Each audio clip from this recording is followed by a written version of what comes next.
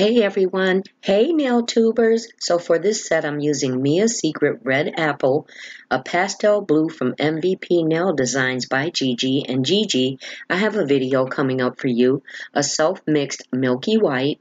I'll be using Mia Secret Clear acrylic powder along with Mia Secret liquid monomer.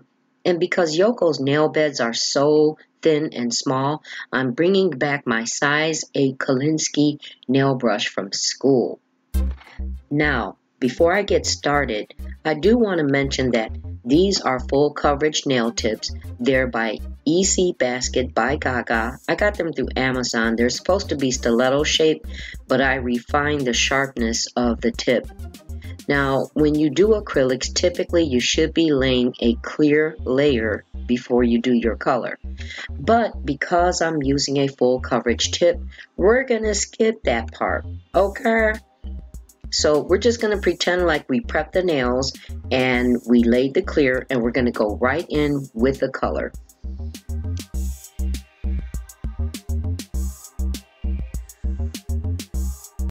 So this set is going to involve doing a three color ombre. and I'm laughing because you know what? I've never even done a regular ombre with acrylic. I'm always getting myself into some kind of challenge aren't I? Well, Yoko seems to be pretty excited about it, as long as I get it right.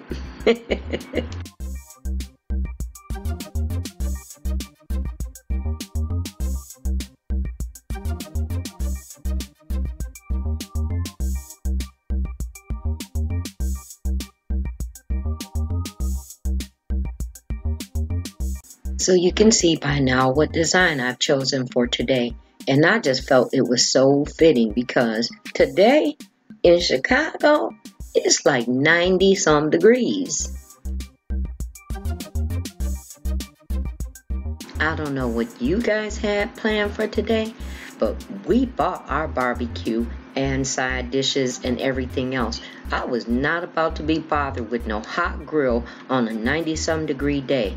As a matter of fact, you know, my stepmom used to live in Texas, and isn't there some type of is there anybody in here from Texas? Because I could have swore in that time she told me that there were regulations on barbecuing or grilling in certain high temperatures. Is that true? Leave a comment and let me know.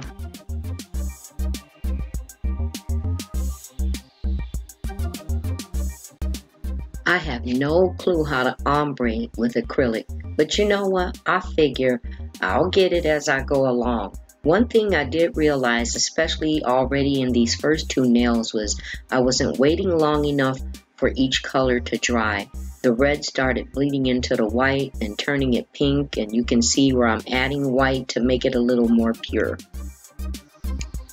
And since I don't know how to ombre with acrylic, and seeing that I'm learning as I go along, I don't really have a lot of helpful tips for you other than let's make this a watch me work. I don't think I did too bad in the end. I had to do some refining and touching up, but I think they came out pretty cute. Before I go, I wanted to make mention that my computer issues finally got the best of me. I'm getting what's called a blue screen of death. I don't know if any of you are familiar with that. And it constantly keeps jamming up my computer, so it looks like I'm going to have to seek some professional help. Um, so in the meantime, I've kept a lot of my segments and portions of my videos very short and brief. So hopefully you'll understand.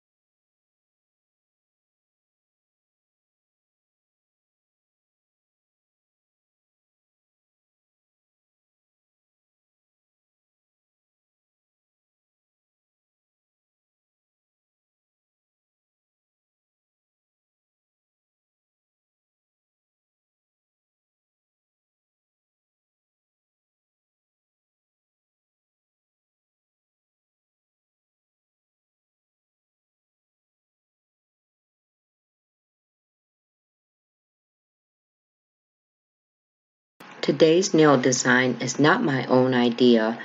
I saw this some time ago and really have been wanting to do these. I believe it was a familiar nail sister, but even she said that she saw it on someone else's channel. I'm sorry I can't remember. It's just that I like to give credit where credit is due.